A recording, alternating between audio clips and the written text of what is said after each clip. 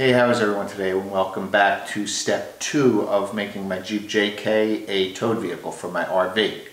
Uh, we're in the garage today, the weather's not cooperating, so bear with me. Uh, I'm going to install a Hopkins wiring kit. This one specifically is for the JK, but they make them in many uh, different options for different vehicles. What's nice about this kit though is it's, it's virtually plug and play. You're just going to remove the tail lights, plug in where the tail lights plugged in, and then run a wire up to the front where it will connect to a uh, six pin connector that will allow me to connect to the RV. So the first thing I have to do is remove both sets of tail lights to gain access back there, and let's start. Now the nice thing about a JK is you only need to remove these two inner screws to remove the tail light. So you back these two screws out and the tail light will just slide over. Okay.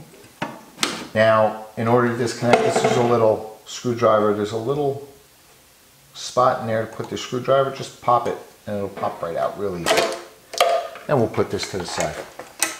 Okay, we're going to start on the driver's side and that's going to be where the diode goes. Now the, the kit's really simple. Like I said, it's just a wiring harness. And it's got side for the passenger side, which is the green wire. The yellow wire is going to go to the driver's side. And it comes with a diode. It's already pre-wired. That prevents any backfeed from the Jeep going to the RV. And it's simple. We're just going to plug each in between the lights. But the first thing to do is you want to get all this wire that's got to go up front and to the passenger side down the vehicle. And there's just a piece of foam in here and you can see there's wires going down. I'm just going to follow those wires and feed it right down below the Jeep.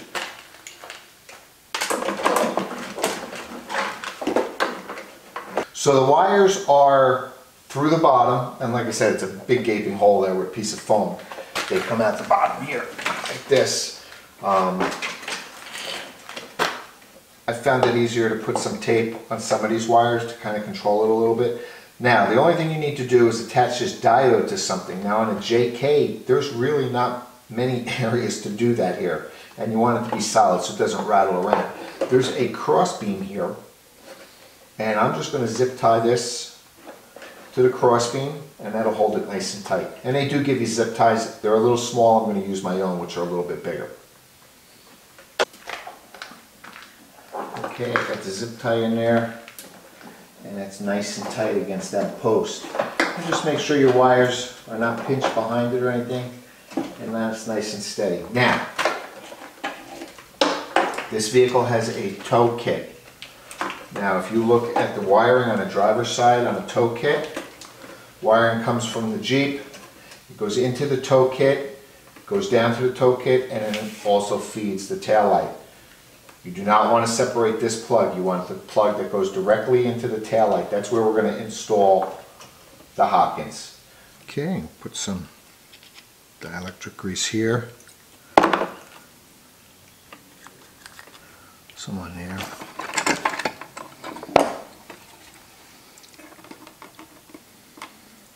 Some on the connections. So very easily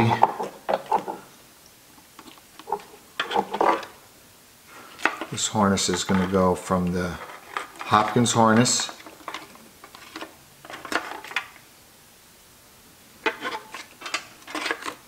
into the tail light and it'll click. And then from the Jeep to the harness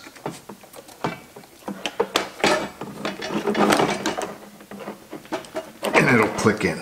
There you go. And that's it. I'm going to put all these wires back in here and then we'll connect the tail light.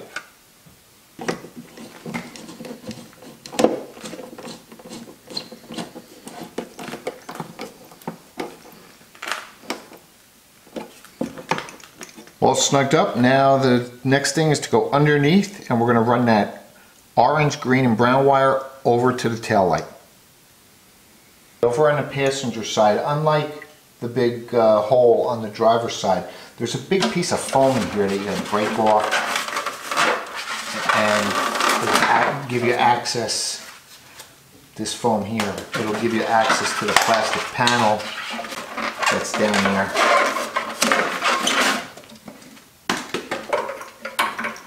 And the plastic panel just fell out. Let me see. Yep, there it is. So this plastic panel covers up the hole there. So I'm just gonna notch this a little bit and then we'll be able to run the wires up. Okay, so I've run the passenger side wires along the hitch, along the bottom. I wire tied it. I have it up into the chamber. The little plastic piece that covers there, I cut a little notch in there. I'm gonna slip that in and have the wires come up through here. And then we'll connect the light. Now I have a little piece of a turn bond tape I'm going to put down there to hold that plastic in because I'm not going to put foam back in there. If I could see, and this will definitely hold that plastic piece in. Okay. Put some dielectric grease on, grease on these connections. Get the light and plug it in. First one is the vehicle to the Hopkins wiring kit. It will click in. And then the Hopkins wiring kit to the light. And that is as simple as it gets.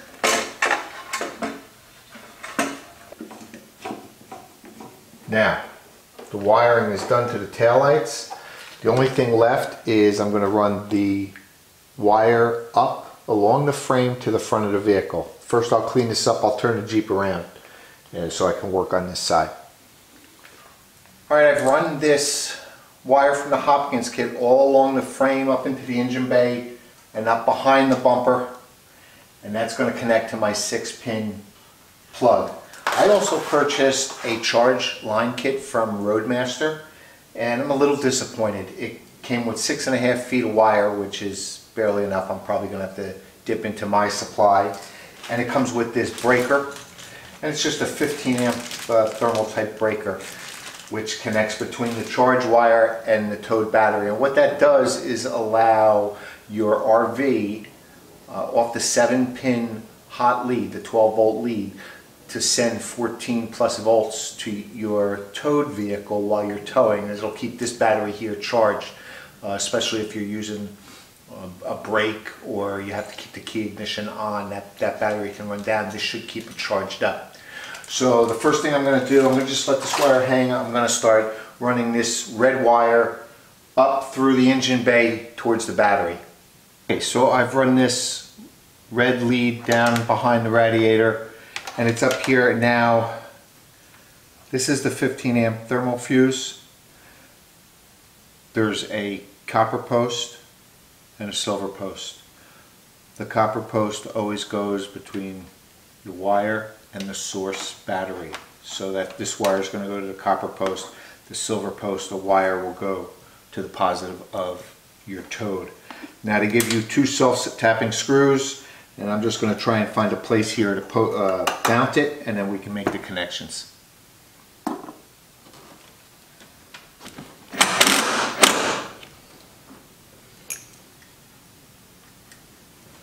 Okay, so my fuse is mounted here to the side of the Jeep.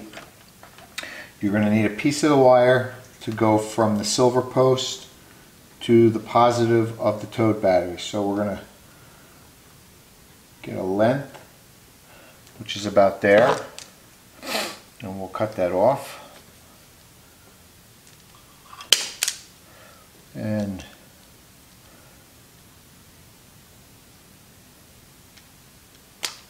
strip that, both ends.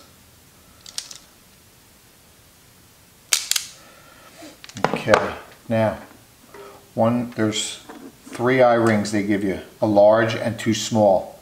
The large is going to go on here which will attach to the towed battery. So we'll crimp that on.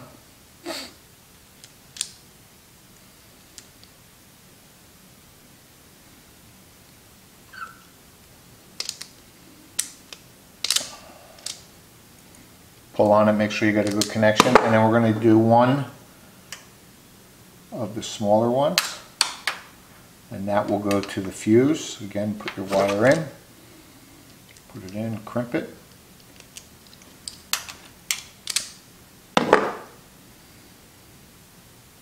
Okay, and that's tight.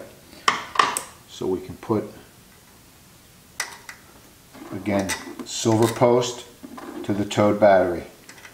And we're gonna put that nut on.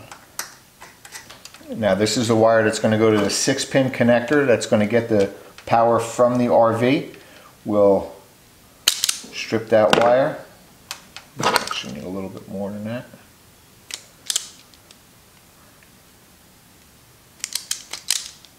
Okay. Small ring.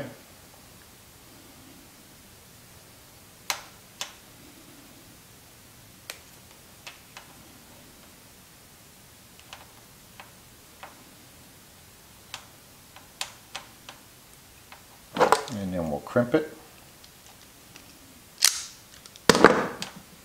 Give it a good tug so you make sure you have good contact. And we'll put that on the copper post on the fuse.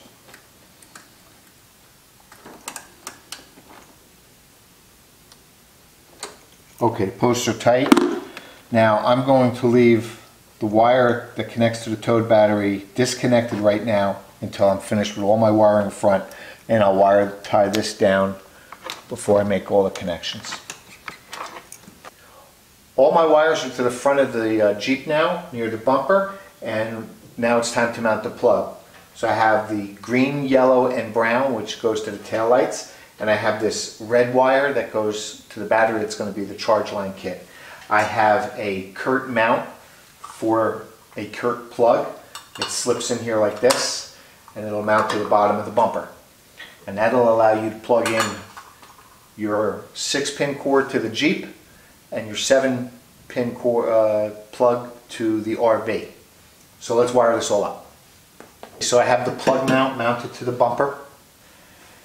Now what I'm going to do is the plug comes with a plastic back. Now in order to get this on you need to put these on the wires first behind the mount. This plug will not go through there. So we're going to feed the wires through.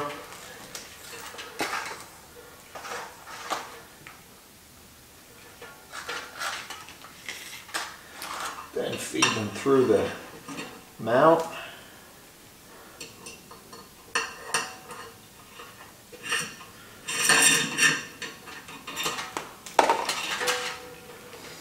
Okay, I'll cut a little bit of this off, but I'm going to leave some extra so it's easy to work.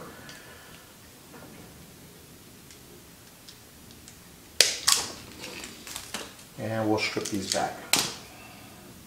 I have all my wires stripped back. I put some tape around this to keep them all together and neat.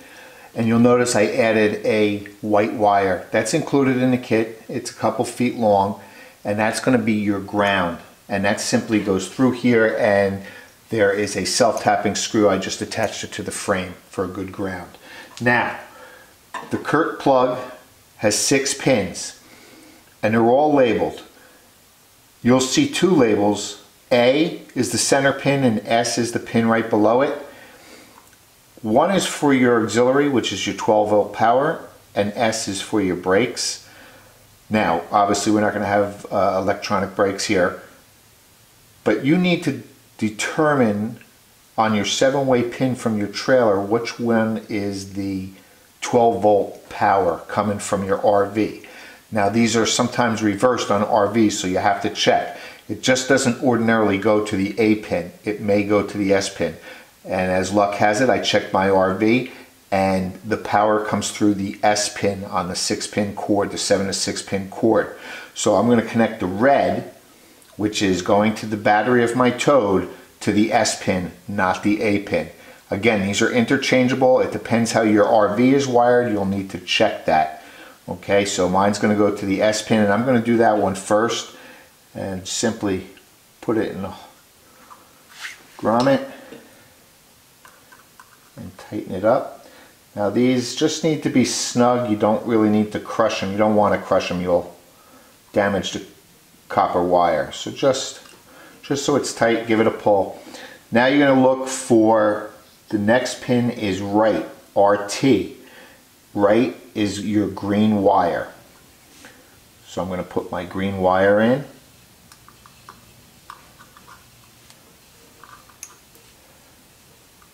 snug that up.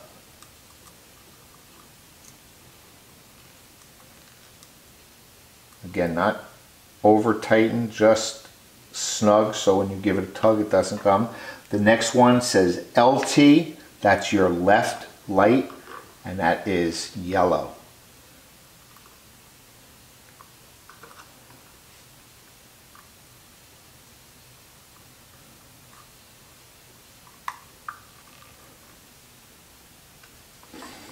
The next is GD, which stands for ground. And again, that's my white wire that comes included in the kit. It's not attached to the harness. It's attached to the four-way plug. You're going to remove it. And you just run it in and to a ground on the vehicle. So we got that in there. We'll tighten that down.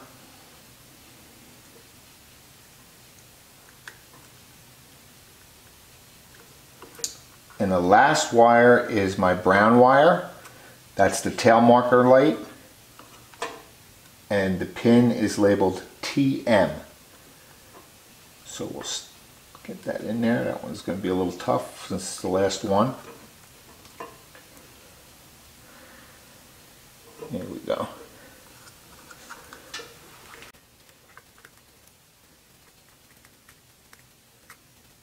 Okay, I have all my wires connected. Give them a tug. Now what I'm going to do is put some dielectric grease on here. I'm going to stick it through the mount, put the boot on. I'll tape that once it's in. And they give you a nut and bolt to attach it to the mount. So it'll go in like that. And we'll be all done. We'll get then we can connect the battery.